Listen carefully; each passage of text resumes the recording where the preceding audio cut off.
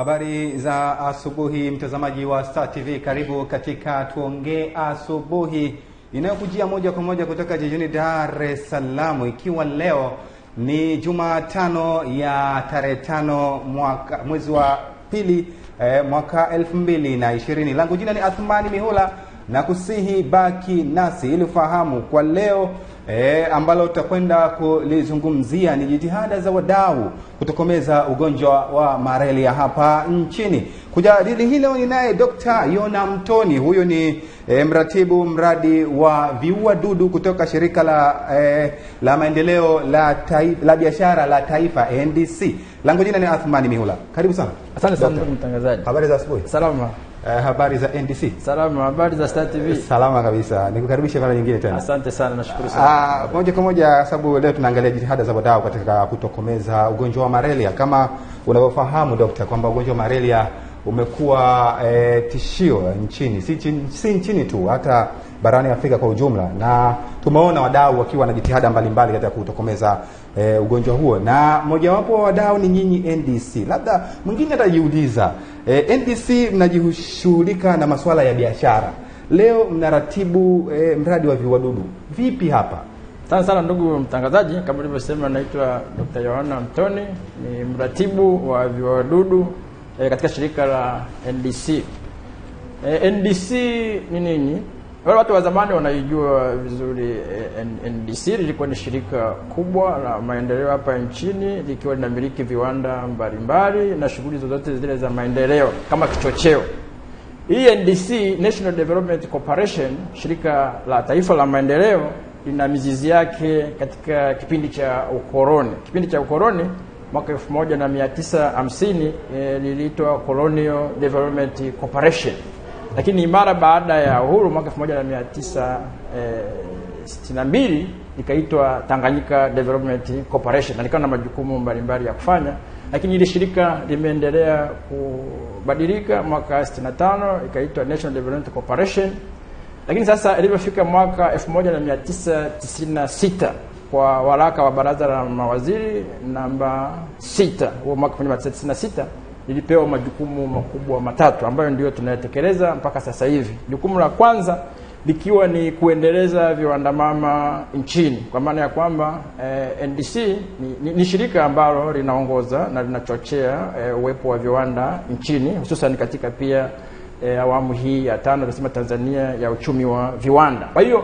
kukiwepo na mahitaji yoyote ya viwandani, kwa mfano kama madini e, mbalimbali kama chuma kinahitajika katika viwanda, NDC e, ina, ina wajibu wa kutafuta hicho chuma ili kuweza kutoa hiyo huduma kwenye viwanda. Sasa, sasa, sasa mtu anajiuliza, bado hujanijibu swali langu, uhusiano wa eh, eh, NDC na kudhibiti malaria. na ndio mtangazaji, ndio ninapokuja huko. Ukiacha hilo swala la kutoa malighafi mbalimbali kwenye viwanda, jukumu la pili ni tumesema kwamba eh, eh, ni mkono wa uwekezaji wa, wa, wa, wa, wa, wa Tanzania. Nchi ikitaka kuwekeza inawekeza kupitia NDC, na sasa tutaongelea habari ya uwekezaji ambao serikali iliufanya kupitia NDC kwa kujenga kiwanda cha viuawadudu pale Kibaha. Sasa Sasa sasa hapo ndipo sasa tunakuja kwenye uhusiano baada ya watu kuielewa NDC ambayo kwamba inashiriki katika vichocheo mbalimbali, shughuli mbalimbali za maendeleo hapa nchini, lakini sasa NDC pia inamiliki viwanda kama nilivyosema kwamba ina, ina, inashiriki katika uwekezaji kushirikiana pia na sekta binafsi, lakini kuna kiwanda ambacho kimejengwa kupitia serikali kupitia NDC imekijenga pale Ki- Kibaha ambacho ni cha viuawadudu ambayo sasa hiki kilijengwa kwa makusudi ya kutaka kutokomeza malaria hapa nchini. Tuangalie sasa eh, kwa sababu tunazungumzia hasa leo ni jitihada za kutokomeza malaria Yeah. Uh, na umeeleza hapo kwamba eh, kuna kiwanda cha kuua viuadudu Yeah. Ah, watu wamezoea eh, katika kutokomeza malaria kuna dawa mbalimbali zinapigwa zinapulizwa hapa na pale katika mazingira. Labda hii hivi viuadudu vinakuwa kuwaje hata kudhibiti malaria? Ya, nasema ya kwamba hivi viuadudu ni zao la kibayolojia.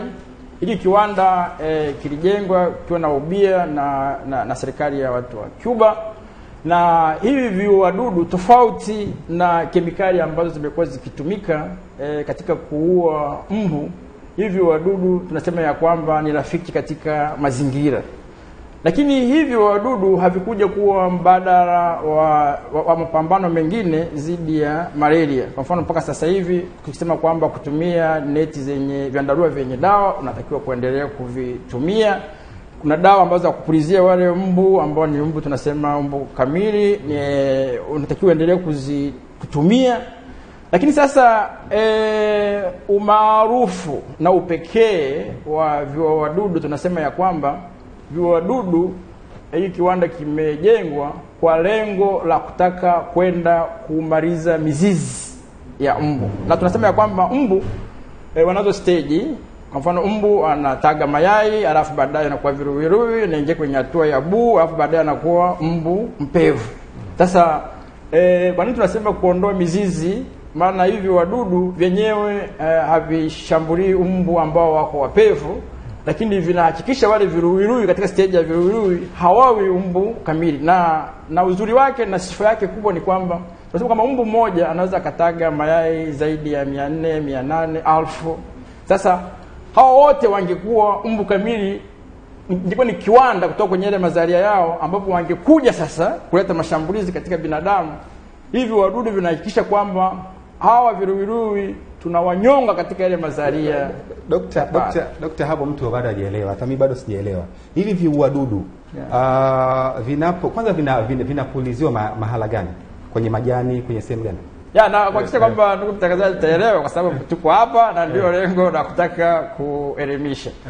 E, mazalia ya mbu haya yanafanyika sehemu ambapo kuna maji, maji mm. na hususan maji yaliyotwama. Kwa hiyo sasa tutaongelea habari ya madimbwi mm. utaongelea habari kwenye kwa mfano kwenye mashamba ya mpunga mm. tutaongelea habari hata maji ambayo unahifadhi ndani ya nyumba. Kwa mfano kuna watu ambao kwa sababu ya uhaba wa maji sehemu mbalimbali, unaweza kukuta mtu ana tenki lake amehifadhi maji pale ambayo anayatumia kidogo kidogo. Sasa hayo maji pia ni sehemu ya mazalia ya ya ya ya, ya, ya, ya mbu. Sasa viwadudu ili kupambana na hayo mazalia ya mbu ndiyo vinanyunyuziwa katika hizo sehemu mbalimbali. Sasa sasa hivyo viuadudu hivyo uh, ni kwa maana ni dawa inaenda na ua ama ni kama biolojia vinamwaga afu wale waliopandikizwa wanakula? Hapo sijaelewa hapo. Ya, tunasema kama ni zao la kibiolojia yeah. Eh, kusema kama dawa, wakati mwingine mtu anaweza kafikiria kwamba labda ni kemikali, lakini hii eh, hii tunasema zao la kibiolojia yenyewe ambayo na marenga au viruirui eh, inakuwa kama ni mahitaji yao ya chakula. Kwa hiyo wanapo wanapokula ndio inapowaharibu, kwa maana nyingine kwamba inawaua. Lakini uzuri wa viuawadudu tofauti na zile dawa zingine ambazo ni za kemikali ambazo kwa mfano zilikuwa zikitumiwa kwa mfano kama DDT, ukisema kwamba kwenye bwawa uweze ku, e, kutumia ile kemikali sawa, unaweza ukaua wale viruwiruwi, lakini pia utaua na samaki, utaua na viumbe vingine ambavyo sisi tunawahitaji katika ile ikolojia. Lakini eh, viuawadudu hata kwa mfano ukiwa na tenki lako ndani ya nyumba au sehemu yoyote ile, ukiweka hiyo dawa E, yenyewe inamlenga kiruwiruwi, hiyo ni salama, utakunywa maji yako wala Kwa hiyo nakunywa bila shida, na kunywa bila shida, haina madhara. Hii ndio sifa ya viua wadudu kwamba utaweka kwenye tenki lako hata ndani ya nyumba, utaweka mle, alafu baadaye unakunywa maji yako bila athari yoyote. Ah, ni- ni- ni- ni- ni- nimesoma hapa mahala kwamba uwezo wa kiwanda hicho ni kuzalisha uh, kwamba asilimia themanini inatumika ndani ndani ya nchi na asilimia ishirini imelenga kwamba eh, muuze nje ya nchi katika hichi kiwanda. Sasa hii asilimia themanini inafikia vipi kwa kwa, kwa wananchi? Maana mwingine hajawahi kuiona, mimi mwenyewe sijawahi kuiona hiyo dawa. Tuseme kwamba kile kiwanda kina uwezo mkubwa wa uzalishaji. Sasa hivi uzalishaji unaofanyika ni kulingana na mahitaji ya nchi, kwa maana ya kwamba pia hii dawa hii- hivi wadudu shavitengeneza vinakaa miaka miwili kabla hii- hivi wadudu havijaharibika. Lakini tukasema kwamba kwa mahitaji ya, ya ndani kwanza e, yapo mambo ambayo tunayafanya kwamba ili mradi kwamba kila mwananchi aweze kuwa na iweze kumfikia. Lakini pia hapa tuongelee labda turudi nyuma kidogo tuongelee kwamba historia yake kidogo mwaka jana ilikuwa e, tarehe nane novemba kulikuwa na siku ya malaria ya SADC ilifanyika hapa Tanzania, na kulikuwa na mkutano mkubwa katika hicho kiwanda cha cha viua wadudu ambacho tunasema ni biolarvicides. Mawaziri mbalimbali kutoka nchi hizi za SADC walikuwepo pale na wakapata fursa ya kutembelea kile kiwanda, lakini pale E, Mheshimiwa Waziri wa, wa, wa Afya, Jinsia, Watoto na Maendeleo nchini e, Mwalimu Umi, Umi Mwalimu alizindua inaitwa kwamba zero malaria inaanza na mimi, zero malaria starts with me. Ni kampeni kwamba kila mmoja anashiriki, hakuna mtu anayedharauliwa, kila mmoja lazima ashiriki. Kwa hiyo ikazinduliwa pale rasmi, na baada ya kuzinduliwa pia ikasisitizwa sasa matumizi ya viua wadudu ambayo ina nafasi kubwa sana ya kuondoa malaria nchini. Sasa serikali imeshawekeza. Sasa NDC inachokifanya sasa, nataka kuhakikisha kwamba katika huo uzalishaji unaofanyika sasa hivi wadudu vinaingia sokoni, na hivi karibuni eh, NDC imetoa tangazo kupata mawakala lakini, lakini, lakini kabla tutakuja, tutakuja huko uh, uh, ni kiwanda hichi uh, wakati makamu wa rais uh, uh, mama Samia Suluhu Hassan akihutubia uh, katika mkutano wa SADC uliofanyika hapa uh, uliohusanisha uh, mawaziri wa afya alisema ni kiwanda cha kwanza Afrika eh, kiwanda cha kwanza Afrika. Je, katika kuwa kiwanda cha kwanza Afrika Tanzania kweli tunanufaika licha yani kwamba ni kweli kiwanda cha kwanza Afrika, lakini katika mapambano haya tija, kuna tija yote ambayo imepatikana. Na, na, na ndio maana eh, eh, ndio maana tunasema ya kwamba ndio maana unaona tunakuja kwenye vyombo vya habari kama tumekuja leo Star TV, tunaenda sehemu zingine, na ndio maana tunasema kwamba kila mmoja anahusika, ili mradi na jambo ambalo tunalihofia tusije tukasema ya kwamba penye miti hapana wajenzi. Ile jambo hataki litokee, kwamba sisi tunacho kiwanda ambacho kinazalisha vile viwa wadudu na tena serikali e, imewekeza na ni kwa bei nafuu ambayo kila mwananchi anaiweza. Kwa hiyo tutafanya uweredi, uelimishaji wa wananchi kuhakikisha kwamba lengo la serikali linatimia na ni kwa nguvu zote. Mwitikio sasa hivi ukoje? Mwitikio wa wananchi katika kuchangamkia e, uwepo wa kiwanda hichi na hizi hivi viwadudu ambavyo vinazalishwa, ili lengo kwamba uh, kama alivyosema uh, Mheshimiwa Waziri wa Afya yeah. E, Ummy Mwalimu eh, malaria iwe zero, iwe sifuri nchini. Mwe- mwe- Mwelekeo mwelekeo ni mzuri kwa maana ya kwamba kuna maendeleo. Kwa mfano, tumekuwa sasa na mikutano mbalimbali kuwatambua wadau mbalimbali, kama nilivyosema kwamba kila mmoja anahusika. Kwa mfano eh, kuna miradi mikubwa ya uwekezaji hapa nchini ikiwemo pia migodi, viwanda vya simenti na miradi mbalimbali yote ambayo naona mikubwa ambayo ina watu kwenye makambi yao katika kufanya zile shughuli. Sasa hiyo miradi miaka mingi imekuwa pia na miradi ya, ya malaria ili kusudi watu wao waweze kuwa na afya njema, waweze kufanya kazi, na ile miradi pia sehemu zingine ilienda mpaka kwenye jamii inayozunguka hii migodi. Sasa wale tumewakuta- tumewakutanisha na kuwauliza ya kwamba hebu tuone mpango wenu wa malaria ili tuweze kuboresha. Kwa hiyo zile zile dawa ambazo wanazitumia na, na, na, na mbinu mbalimbali ambazo wanazitumia, kwa hiyo sisi tumeweza kueleza habari ya hivi viwadudu na jinsi ambavyo vinafanya kazi kwa nguvu. Haiondoe zile ile mipango yao, lakini kwamba katika mazaria sasa mtatumia hivi viwadudu, na wao wameelewa, na kampuni nyingi ziko tayari kuingiza sasa, wanazo bajeti tayari kulingana na programu zao, ila sasa waweze kuitambua hii na kuingiza katika miradi yao. Hiyo tumefanya, lakini pia tunaandaa mikutano kwa ajili ya kukutana na taasisi za fedha kama mabenki, kwa sababu wao wanakopesha na wao pia wanashiriki katika shughuli za, za maendeleo ya jamii. Kwa hiyo kwa hiyo e, mwitikio mi nasema ya kwamba e, ni mzuri, ni mwanzo mzuri, lakini tunatakiwa kuendelea kuwa na nguvu, kwa sababu kila jambo lina mwanzo wake. Tunatakiwa sasa kuendelea na nguvu ili kutekeleza ile azma ya serikali. Uh, uh, Dokta, uh, umeeleza kwamba uh, hivi viuadudu vinaua mbu. E, vinaenda kuua mazalia ya mbu. Yeah. E, lengo ni kumdhibiti E, ili asiwe mbu kamili na akaendelea kuleta madhara. Yeah, eh, maana mwingine anaweza akajiuliza eh, sasa hivi kuna kuna mbu wa malaria kuna mbu huyu wa denge ni mbu aina gani ambaye anaweza kauliwa na hivi viuadudu Ah, na ndio umeuliza swali zuri ndugu mtangazaji. Ni viwadudu hivi hivi ndio vilivyotumika kwenye ugonjwa ule wa dengi. Kwa hiyo haviui tu, viluwilu vinavyouawa si vile tu vya mbu ambao wakishakuwa pevu wanaenda ku, eh, eh, kuambukiza malaria, lakini pia wale wanao mbu ambao wanaambukiza ugonjwa wa dengi, kwa kama mwaka jana ile Julai, Agosti tuliona eh, ni hivi viwadudu ambavyo vilipuliziwa katika sehemu mbalimbali na kuweza kuiondoa ile dengi. Kwa hiyo ni ni, ni umbu mbalimbali kwa- kusema yani katika ujumla, ingawaje tunaongelea habari ya malaria ambayo ndio umekuwa mm. e, ugonjwa hatari ambao umesababisha vifo vingi, imesababisha watu kuwa e, kutokuwa na afya njema, na taifa linatakiwa leo na watu e, watu wenye afya njema, na ndio maana nikasema kwamba serikali ilitengeneza kiwanda. Sisi tunamiliki viwanda na tunashiriki kwa ubia na watu binafsi katika kumiliki viwanda mm. kwa ajili ya kutimiza ile azma ya serikali Tanzania ya uchumi wa viwanda, lakini pia hiki pia ni kiwanda. mm. Sasa hiki ni kiwanda ambacho kinazalisha viwadudu ambayo eh, vyenyewe sasa inahakikisha kwamba watu wanakuwa na afya njema wanapokuwa wanafanya kazi viwandani, wanakuwa na afya iliyo njema. Watu wanapokuwa wanafanya shughuli kwenye mashamba, wengine wanazalisha eh, mazao ambayo wanaleta viwandani. Kwa hiyo wananchi waweze kuwa na afya njema na taifa liweze kwenda mbele, lazima liwe na taifa liwe na watu wenye afya njema. Kwa hiyo msukumo kwa kweli ni kila mtu anahusika. Hata wewe mtangazaji eh, lazima pia useme kwamba zero malaria inaanza na mimi, zero malaria starts with me, na tuna lengo la kumshirikisha kila mtu, hata mwananchi. Eh, Kwa mfano kama lile ambalo tumesema ya kwamba eh, wasema nisubiri kidogo, lakini lile la, la, la wakala mm.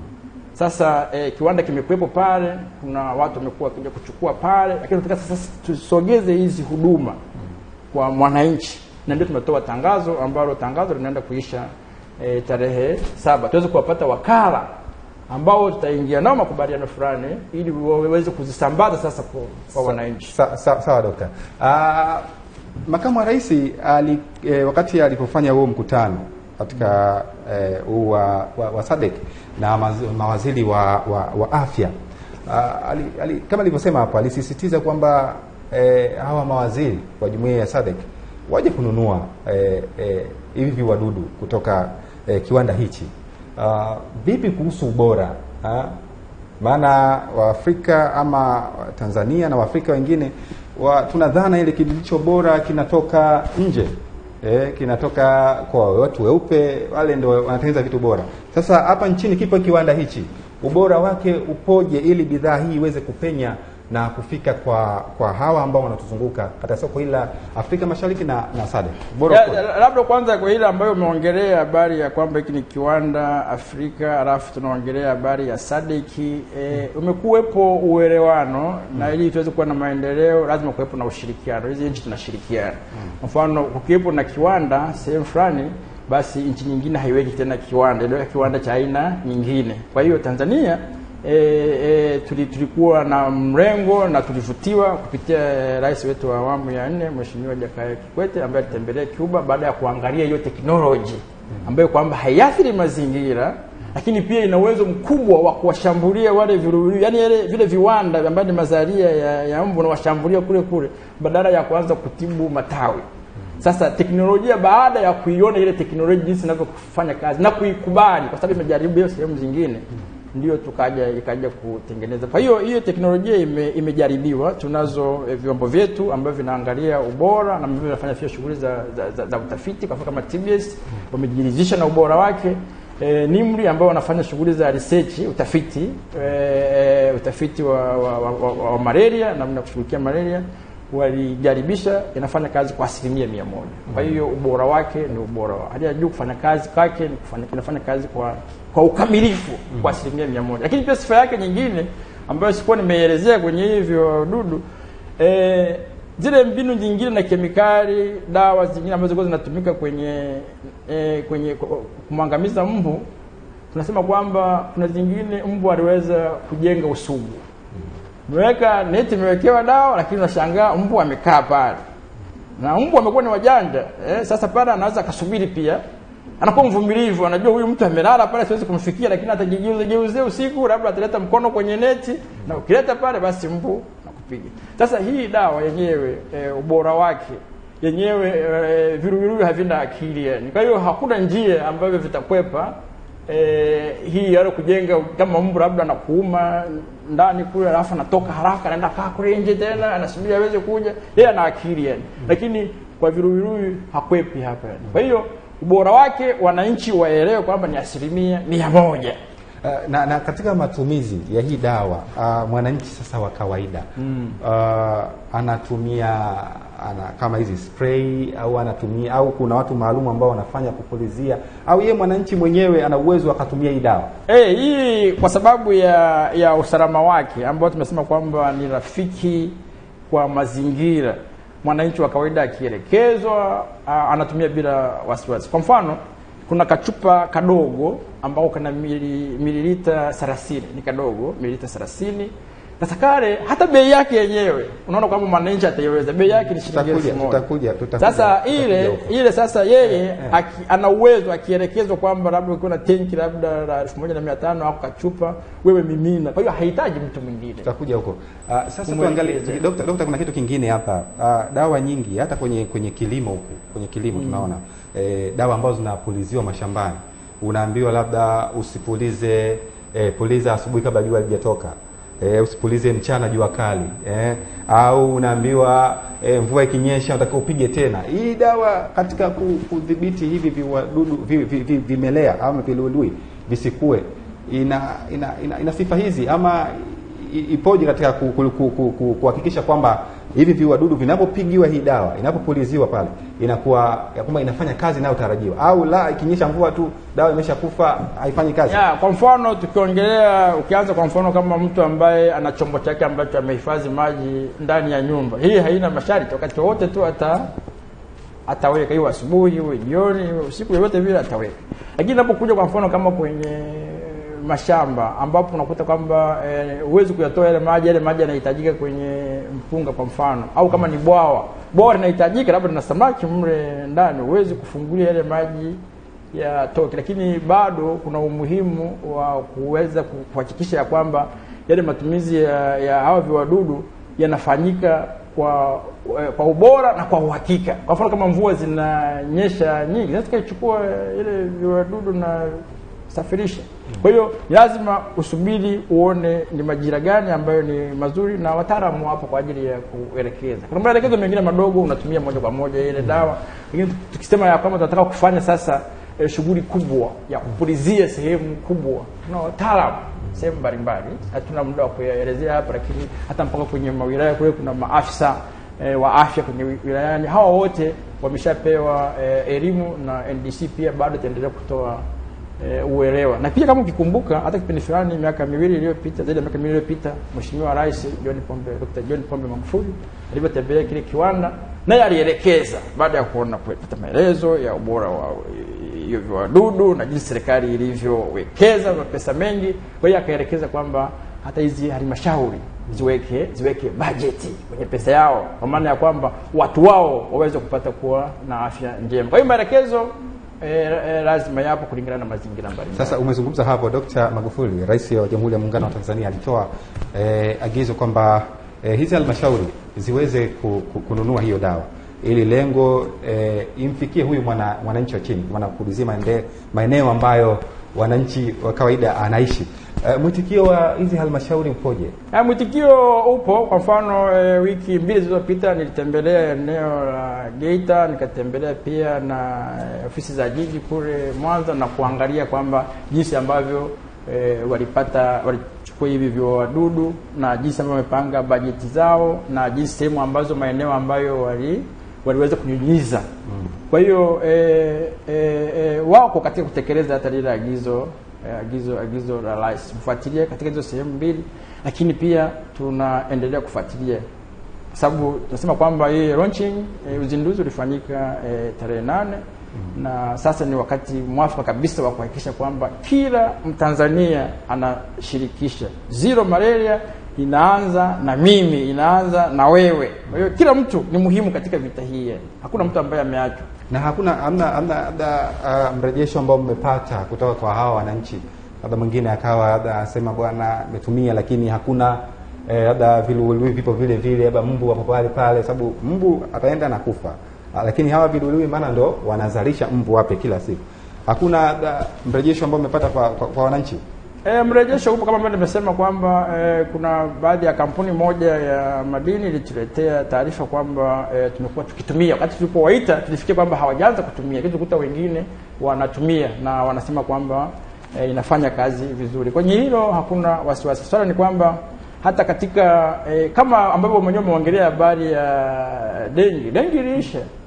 E, ni hii viwadudu ambayo ilitumika, mashine zilinunuliwa sehemu mbalimbali zikapuliziwa. Hata ukiangalia kwenye mtandao utaziona picha, pulizie kamalize hilo hilo hilo hilo tatizo. Halmashauri mbalimbali zimeshapulizia mm. E, na hata sasa hivi e, katika nchi E, takwimu zinaonyesha kwamba e, malaria e, imeshuka kutoka asilimia kumi na nne mpaka asilimia saba. Mm. Kwa hiyo tunasema ya kwamba e, mwitikio upo, ila cha msingi ni kwamba kunatakiwa msukumo na uelimishaji mkubwa ambao NDC ikishirikiana na wadau wengine mbalimbali tunajipanga kufanya. Lakini jambo moja ambalo eh, kuna wadau muhimu pia hapa ambao eh, hata kama wanakuwa wanasikiliza ningefikiri ni vizuri hawa NEMC, shirika la taifa la usimamizi na uhifadhi wa mazingira mm. wale wanasimamia, moja ya vitu wanavyovifanya ni tathmini ya athari eh, kwa mazingira, miradi mbalimbali ambayo inawekezwa hapa Tanzania. Sasa katika lile andiko lao huwa yapo mambo mengi mbalimbali yanaelezwa mure, na kwa sababu watakuwa na wafanyakazi, watakuwa na jamii ambayo inawazunguka, huwa wameeleza pia mpaka masuala ya afya lakini kule ndani lazima waeleze, kwa sababu ni andiko la kutunza mazingira. Wanaandika vitu vile ambavyo haviharibu mazingira au vinavyoharibu mazingira, wanapunguzaje yale makali. Sasa wale e, hawa NEMC tunaomba kabisa kwa dhati kabisa kwamba serikali imewekeza kwenye hiki kiwanda ili wananchi wake waweze kuwa na afya njema. Kwa hiyo maandiko yote yanayopitia kwenye hili baraza la usimamizi na uhifadhi wa mazingira waweze kuwaeleza habari ya hivyo wadudu kwamba ni rafiki wa mazingira, Hatuna haja ya kutumia DDT, kutumia kemikali mm. na tena yenyewe iko effective kwenye kutekeleza yale makusudio ambayo tumeyaweka. Uh, Daktari, tukiwa tunaelekea katika uh, hitimisho la uh, kipindi chetu uh, neno lako la mwisho uh, una lipi la kuambia sasa uh, jamii ya Watanzania hasa e, kuhusiana na mapambano dhidi ya ya, ya, ya malaria hasa katika hili e, eneo la ku, kuangamiza hivi viwadudu e, vi, vi, vimelea ili, ili, ili malaria tupate malaria sifuri ndani ya Tanzania. Ya, mimi ambalo ningeweza kusema kwanza ni washukuru e, Wizara ya Afya, Jinsia, Wazee na Watoto, ya Jamii, wamekuwa na msukumo mkubwa, wamekuwa wakipambana na swala hili la malaria hmm. Na sisi kwa sababu tuna kiwanda e, tunafanya nao kazi bega kwa bega. Kwa hiyo yale mapambano ambayo wanapambana, kwanza tunawapongeza na wana mifumo mbalimbali mpaka kufikia kule chini. Kwa hiyo wadau wote wanaofanya kazi na wizara hii ya afya, lakini pia tukija wakurugenzi eh, wa halmashauri mbalimbali, wana watu wana wajibu katika serikali kuhakikisha ustawi wa jamii wao na wanao maafisa. Kwa hiyo wanaosikiliza, wanao jukumu la pia hata kutekeleza E, lile agizo lile agizo la, la rais kuhakikisha kwamba tunakuwa na wananchi wenye afya njema. Lakini kwa nini sasa ni muhimu katika hivi vita? Ni kwamba serikali pia imekuwa ikitumia fedha nyingi sana kuagiza madawa ya malaria, lakini pia kuwatibu hao wananchi, lakini pia tuna, tunapoteza e, watoto wetu kwa sababu ya hii malaria. Kwa hiyo ni swala la kwamba hili swala la zero malaria inaanza na mimi, kila mdau aweze kulifikiria, na kama pia wewe ni kampuni una watu wengi fikiria ya kwamba katika programu yako kuijua hii habari ya viua wadudu. Kwa hiyo kila mmoja na sisi na nyie pia waandishi wa habari pia mnahusika. Sawa. Na nyie ni wadau wakubwa wa maendeleo na kueneza hii hii elimu. Sawa, nikushukuru sana. Lakini pia labda kwa mawasiliano. Ah, mawasiliano tutataja baadaye. Muda si rafiki, maana sasa hivi kipindi chetu kimeisha. Ah, nikushukuru sana Dr. Eh, Yona Mtoni, Eh, mtazamaji wa Star TV eh, mpaka kufikia hapa kipindi cha habari kuu hakina la ziada, na kubwa ambalo tulikuwa tunaangazia kwa siku ya leo ni jitihada za wadau katika kutokomeza ugonjwa wa malaria, na nilikuwa na Dr. eh, Yohana Mtoni. Huyu ni mratibu eh, mradi wa viuadudu kutoka shirika la eh, maendeleo ya biashara la taifa NDC. Langu jina ni Athmani Mihula. Eh, muda si mrefu utakuletea hapa uchambuzi wa magazeti utafata hapa. Nikurejeshe tu sasa Mwanza Eh, baadaye utarudi tena hapa Dar es Salaam kwa ajili ya kujua magazeti yanasemaje. Utakie tu asubuhi njema.